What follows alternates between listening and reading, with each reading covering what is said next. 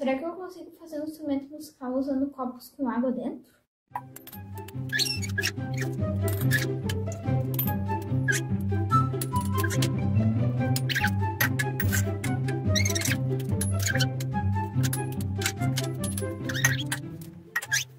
Vamos para o sol.